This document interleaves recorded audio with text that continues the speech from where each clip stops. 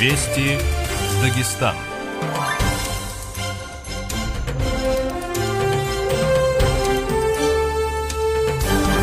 Danışır Mahaçqala. Axşamınız xeyir hörmətli dinləyicilər. Dağıstan radiosu ilə Azərbaycan dilində Mahaçqala 105.6, Dərbənd 104.9, Xasavyurt 101 FM diapazonunda xəbərlər buraxılışını dinləyirsiniz. Mikrofon qarşısında jurnalist Zöhrə Musayeva, rejissor pult arxasında Mina xanım Mamayeva.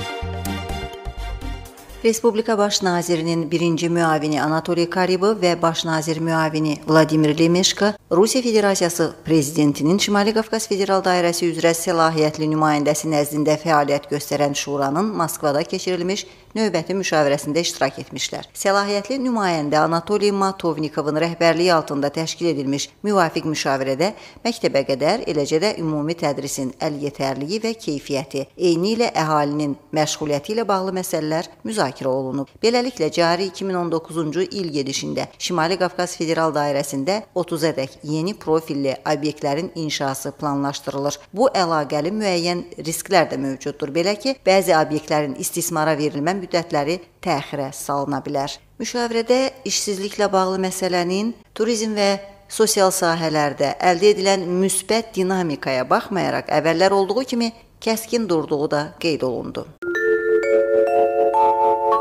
Dağıstan Respublika hökuməti yerli təşəbbüslərin dəstəklənməsi üzrə layihə işə salıb. 100 məktəb adlanan proqram respublikada uğurla tətbiq olunub.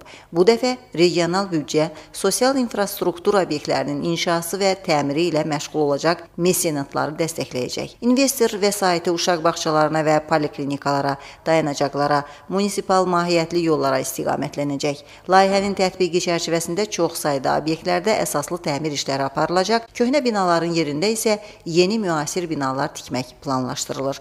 Layihənin tətbiqində Respublikanın İqtisadi və Ərazi İnkişafı Nazirliyi cavabdehdir. Respublikada kadastr, qiymətləndirmə və vergi tutma əsasları ilə bağlı təlim seminarları yekunlaşdı.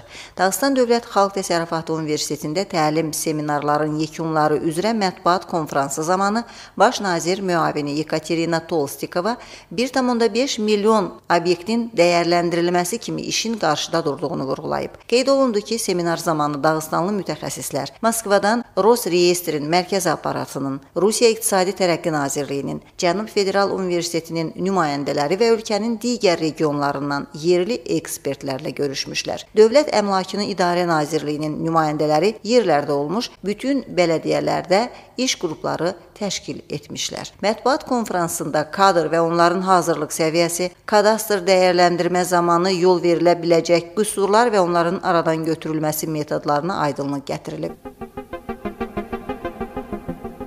Dağıstan Kiçik Elmlər Akademiyası bazasında cari ilin oktyabr ayında uşaqlar üçün IT klub rəqəmli təhsil mərkəzi açılacaq. Respublikanın Təhsil və Elm Nazirliyindən verilən məlumata əsasən məşğələlərin keçirilməsi üçün gərəkli laboratoriyalar təchiz olunub. 10 yaşından 18 yaşınadək 400 uşağın təmənnasız təlimlə əhatə olunacağı planlaşdırılır. Bunun üçün kiçik akademiyada artıq qeydiyyata alınma prosesinə başlanıb. Nazir Umupazil Ömərovanın sözləri ilə IT klub internet texnologiyaları məkanı imtahanında kadr hazırlığı mərkəzinə çevrilə bilər. Burada əlavə təhsilin əlyetərliyi ilə yanaşı gələcək peşə seçimi də dəstəklənir. Qeyd edək ki, analoji IT klub mərkəzləri Rusiyanın 16 regionunda təşkil edilir.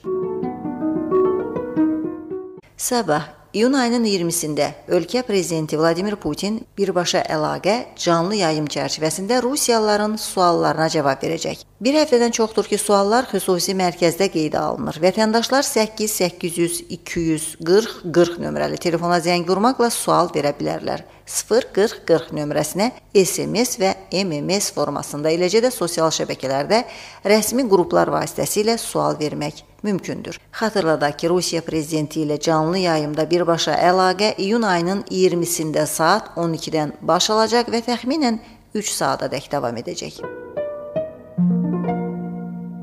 Rəsul Həmzəyatov adına Respublika Milli Kitabxanasında teatr ilinə həsr olunan teatr və zaman sərgisi açılıb. Sərgidə 21-ci əsrin dövrü mətbuatı və Retro dövrü mətbuat, Mədəniyyət və Həyat, Sovet İttifaqı, Teatr, Teatr Həyatı jurnalları və İzvestiya qəzeti təqdim olunur. Bütün bu jurnallarda dərc olunan materiallarda ölkənin teatr həyatı əks olunurdu. Həvəskarları teatr məkanında baş vermiş əlamətdar hadisələrlə tanış etmək məqsədini güdən kitabxana sərgisi iyun ayının 30-unadək davam edəcək. Siz xəbərlər buraxılışını dinlədiniz.